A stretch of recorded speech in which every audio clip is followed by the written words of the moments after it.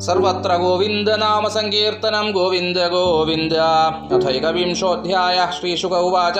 एतावानेव भूवलयस्य सन्निवेशः प्रमाणलक्षणतो व्याख्यातः। एतेन हि दिवो मण्डलमानं तद्विद उपदिशन्ति यथा द्विदलयोर्निष्पावादीनां ते अन्तरेणान्तरिक्षं तदुभयसन्धितम् यन्मध्यगतो भगवांस्तपदाम्पतिस्तपना तपेन त्रिलोकीं प्रतिपत्यवभासयत्यात्मभासा। स एष उदगेन दक्षिणायन वैषुवदसज्ञाभिर् दैर्मान्द्यशैघ्रसमानाभिर्गतिभिरारोहण अवरोहणसमानस्थानेषु यथा सवरमभिपद्यमानो मकरादिषु राशिष्वहोरात्राणि दीर्घह्रस्वसमानानि विधत्ते यदा मेषतुलयोर् वर्तते तदा अहोरात्राणि समानानि भवन्ति यदा वृषभादिषु पञ्चसु च राशिषु चरति तदा हान्येव वर्धन्ते हसति च मासि मास्यैकैका घटिका रात्रिषु यदा वृश्चिकादिषु पञ्चसु वर्तते तदाहोरात्राणि विपर्ययाणि भवन्ति यावद् दक्षिणायनमहानि वर्धन्ते यावदुदगयनं रात्रयः एवं नवकोटय एकपञ्चाशल्लक्षाणि योजनानां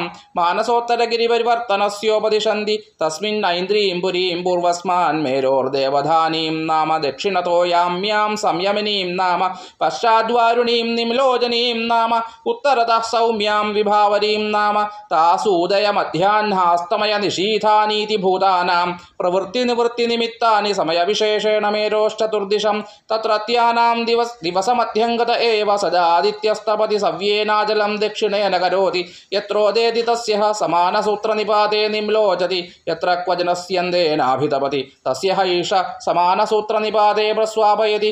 തത്ര ഗതം ന പശ്യന്തി ഏതം സമനുപശ്യേരൻ. യഥാ ഇന്ദ്രിയാः പുര്യാः പ്രചലത്തെ पञ्चदशघटिकाभिर्याम्यां सपादकोटित्वयं योजनानां सार्धद्वादशलक्षाणि साधिकानि चोपयाति। एवं ततो वारुणीं सौम्यामैन्द्रीं च पुनस्तथान्ये च ग्रहाः सोमादयो नक्षत्रैः सह ज्योतिश्चक्रे समभ्युज्यन्ति सह वा निम्लोचन्ति। एवं मुहूर्तेन चतुस्त्रिंशल् चतुस्त्रिंशल्लक्षयोजनान्यष्टशताधिकानि सौरो यथस्त्रयीमयोऽसौ। चतसृषु परिवर्तते पुरीषु यस्यैकम् चक्रं द्वादशारं षण्णेमि तृणाभिसंवत्सरात्मकं समामनन्ति। तस्याक्षो मेरोर्मूर्धनि कृतो मानसोत्तरे कृतेतरभागो यत्र प्रोतं रविरथचक्रं तैलयन्त्रचक्रवत् भ्रमन् मानसोत्तरगिरौ परिभ्रमति। तस्मिन्नक्षे कृतमूलो द्वितीयोक्षस्तुर्यमानेन संमितस्तैलयन्त्राक्षवत् ध्रुवे। कृतोपरिभागः। रथनीडस्तु षत्रिंशल्ल षत्रिंशल्लक्षयोजनाय तस्तत्तुरीयभागविशाला विश तुरीयभागविशालस्तावान्। रविरथयुगोत् യത്ര ഹയാച്ഛന്തോ നാമാന സപ്താരുണയോജിതാ വഹന്തി ദേവമാദിത്യം. പുരസ്താൽ സവിതുരരുണ പശ്ചാൽ ച നിയുക്ത സൗത്യേ കർമ്മണി കിലാസ്തെ. തഥാ ബാലഖില്യാ ഋഷയോ അങ്കുഷ്ഠപർവമാത്രാ. ഷഷ്ടിസഹസ്ര ഷഷ്ടിസഹസ്രാണി പുരതഃ സൂര്യം. സൂക്തവാകായ നിയുക്താ സംസ്തുവന്തി. തഥാന്യേ ച ഋഷയോ ഗന്ധർവാപ്സരസോ നാഗ ഗ്രാമണ്യോ യാതുധാനാ ദേവാ ഇത്യ ഇത്യൈകൈകശോ ഗണാः സപ്തചതുർദശ भगवन्तम् सूच्यमात्मानं नानानामानं पृथङ् नानानामानः पृथक् कर्मभिर्द्वन्द्वश उपासते लक्षोत्तरं सार्धनवकोटियोजनपरिमण्डलम् ഭൂവലയസ്യ ക്ഷണേന സഗവ്യൂത്യുത്തരം ദ്വിസഹസ്രയോജനാനി സഭുങ്ക്തേ ഇതി ശ്രീ ഇതി ശ്രീമദ്ഭാഗവതേ മഹാപുരാണേ പാരമഹംസ്യാം സംഹിതായാം പഞ്ചമസ്കന്ധേ. ജ്യോതിശ്ചക്രസൂര്യരഥമണ്ഡലവർണനം നാമ ഏകവിംശോധ്യായ. സർവത്ര ഗോവിന്ദനാമ സങ്കീർത്തനം. ഗോവിന്ദ ഗോവിന്ദ. അനന്തരം ഇവിടെ ഇരുപത്തൊന്നാം അധ്യായത്തിൽ ശ്രീശുക മഹർഷി ജ്യോതിർഗോള ജ്യോതിർഗോളങ്ങളെ വർണിക്കുകയാണ് ചെയ്യണത്. ഇവിടെ ഏറ്റവും പ്രാധാന്യം നവഗ്രഹങ്ങളിൽ അല്ലെങ്കിൽ ജ്യോതിർഗോളങ്ങളിൽ ഏറ്റവും പ്രാധാന്യമുള്ളത് സൂര്യനാണ്. കാരണം അതെല്ലായിടത്തും വ്യക്തമാണ്. എല്ലാ തലങ്ങളിലും എല്ലാ ശാസ്ത്രങ്ങളിലും എല്ലാ മേഖലകളിലും എല്ലാ സ്ഥലങ്ങളിലും സൂര്യ മാഹാത്മ്യം എന്നുള്ളത് പ്രകടമായിട്ടുള്ളതാണ്. അത് ഭാരതീയർ അത് ആയിട്ടുള്ള നമ്മൾക്ക് യാതൊരു തരത്തിലുള്ള സംശയവും അവിടെ ഇല്ല. ഏത് മേഖലയെടുത്താലും സൂര്യന് പ്രാധാന്യം കൊടുക്കാതെ കണ്ട് യാതൊരു തരത്തിലുള്ള ഒരു മേഖലകളോ യാതൊരു തരത്തിലുള്ള ഒരു ജീവനോ ഇവിടെ വസിക്കുന്നുമില്ല. യാതൊരു തരത്തിലുള്ള മേഖലകൾ ഇവിടെ പ്രവർത്തിക്കുന്നുമില്ല.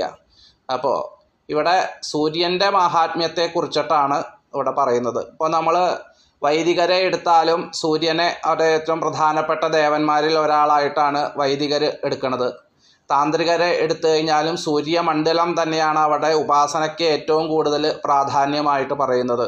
ഏതെല്ലാം ഏതേതെല്ലാം ദേവന്മാരുടെ വാസസ്ഥാനമായിട്ട് പറയുന്നതും ഏതെല്ലാം ദേവന്മാരെ നമ്മൾ ആരാധിക്കുന്നുണ്ടോ അവരെല്ലാം സൂര്യമണ്ഡലവർത്തികളായിട്ടാണ് പറയുന്നത്.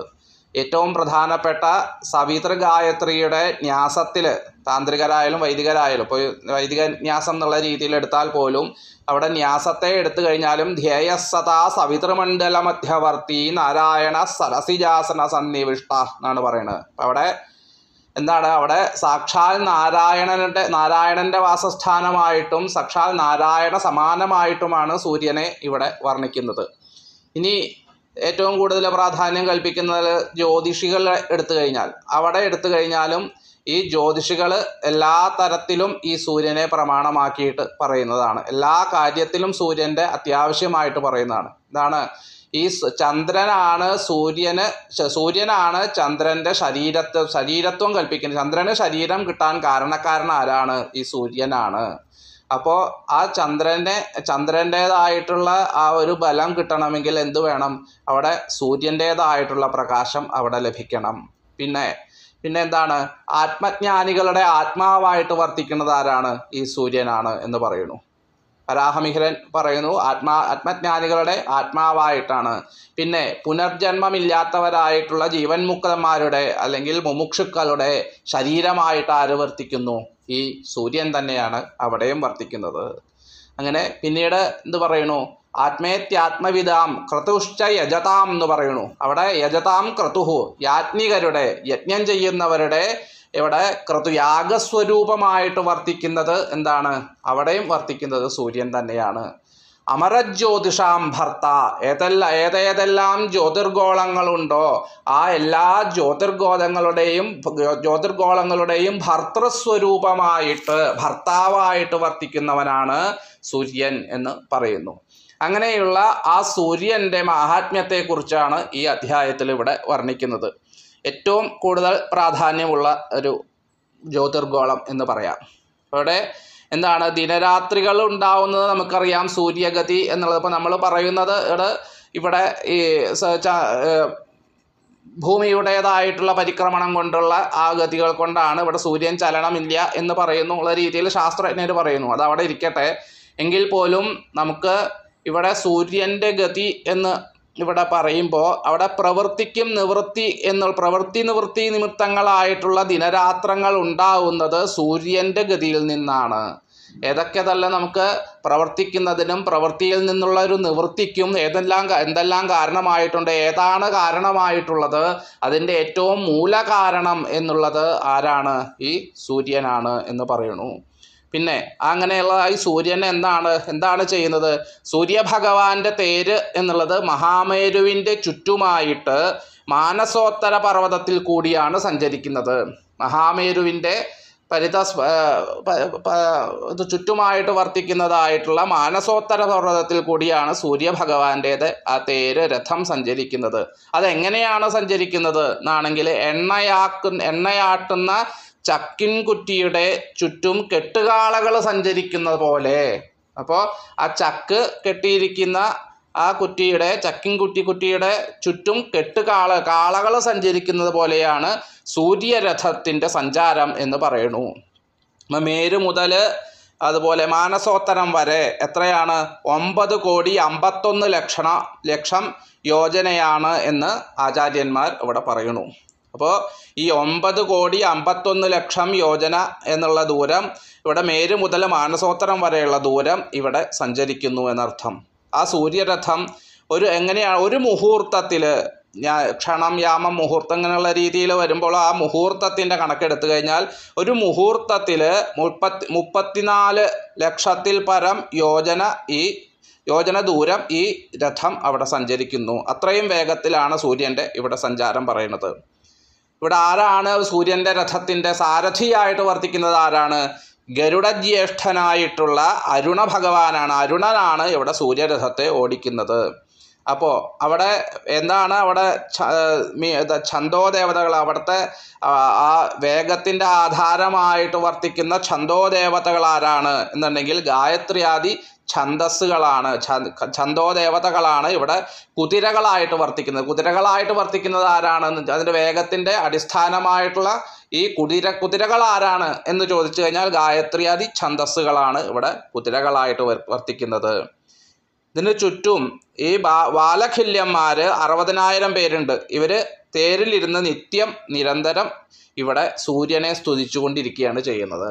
ഇത്തരത്തിലുള്ള ആ സൂര്യന്റെ മാഹാത്മ്യത്തെയാണ് ഈ ഇരുപത്തൊന്നാം അധ്യായം കൊണ്ട് ഇവിടെ വർണിച്ചിരിക്കുന്നത്.